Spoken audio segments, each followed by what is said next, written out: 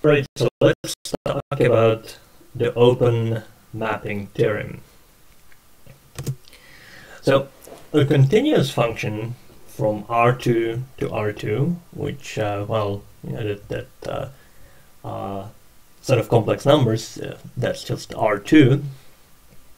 So if we take any uh, any continuous function, um, well, it can do quite bad things to the topology. Um, at least uh, pushing forward. you know, if, if, we look at uh, what are the images of uh, the open sets which define the topology.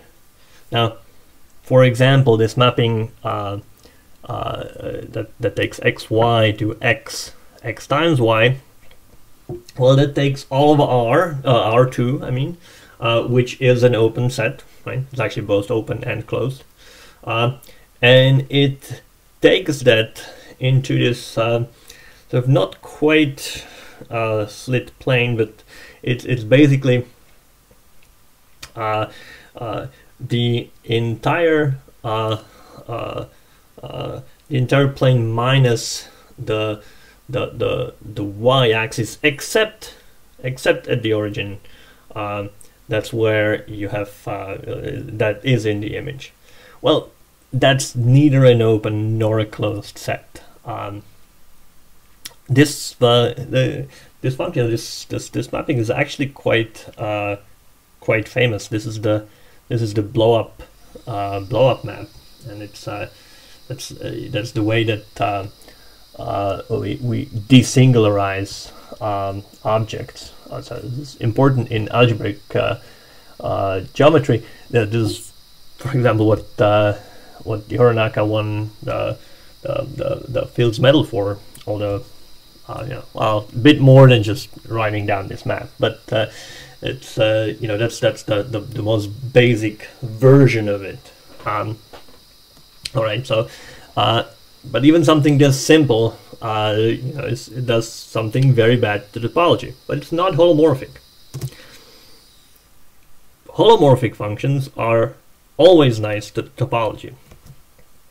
Uh, so a continuous map, uh, it pulls back open sets to open sets, right? Whenever we have an open set in the uh, in the range, we pull it back, right? F inverse of of that uh, set is open, right? That's really what that's that's the definition of a continuous map, really, in terms of topology. If we just have this, you know, topology, meaning we know what open sets are, that's what open, uh, that's what a continuous function means.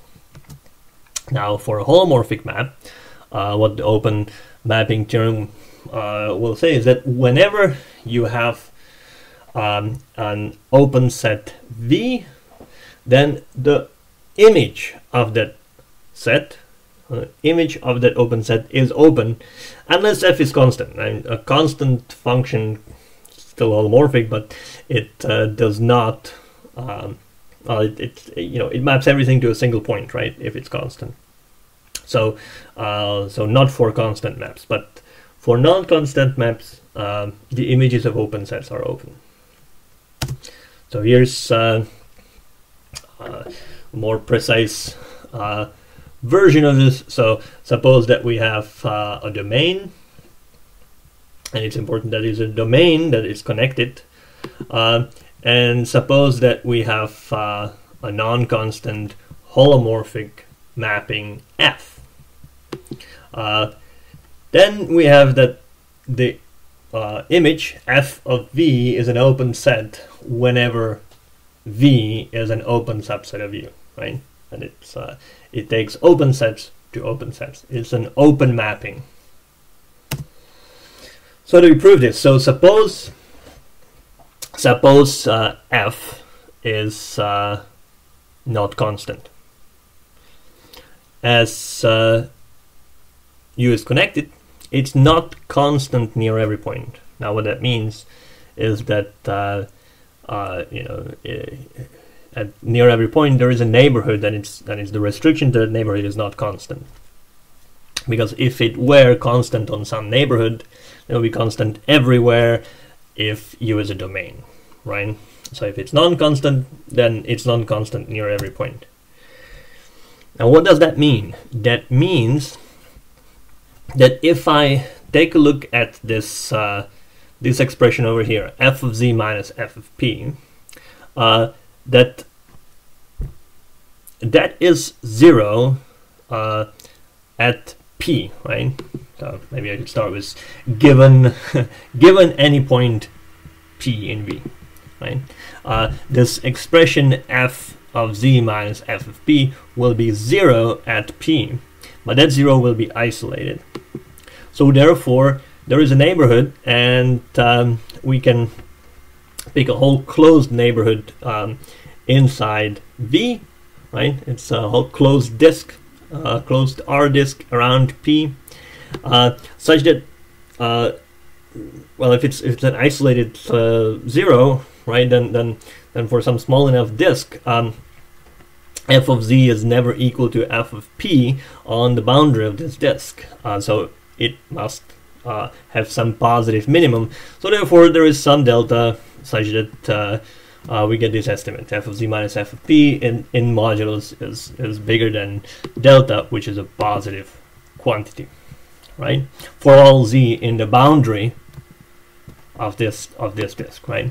So what we're gonna do is we're gonna basically what we're gonna do we're gonna find uh, a little disk uh, uh, in in the image of V uh, around uh, uh, f of p, right? That's that's what we're gonna do.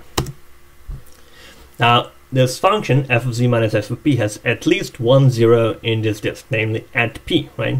Um, I say at least one zero. Well, we can, you know, if you uh, uh, say, well, it's it's really just one zero, but it could be of higher multiplicity, right? So it could have a higher multiplicity zero at uh, at p, possibly. But at least one, right? There is at least one zero. Uh, that's that's all we need. Now let's suppose that we take a w uh, in this um, in this delta disk around f of p, and uh, uh, for any z in the boundary of uh, uh, of this R disk around P, uh, we start approximating. So basically, we, we, we take a look at these two functions, f of z minus w and f of z minus f of p. We take their difference and we take the modulus, right? Uh, well, that's that's just um, that's just f of p minus w. Now, then we have this inequality: f of p minus w in modulus is less than delta.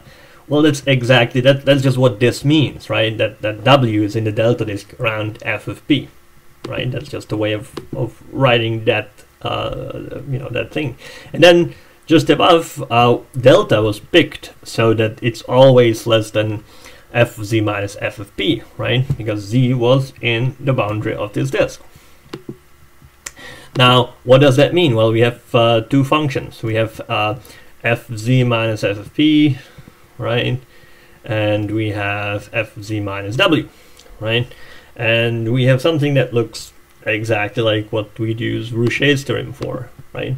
And well, that's that's that's what we do. We get uh, we use Rouché, and by Rouché, f of z minus w has the same number of zeros as f of z minus p and f of z minus p has at least one zero, so therefore f of z minus w has at least one zero.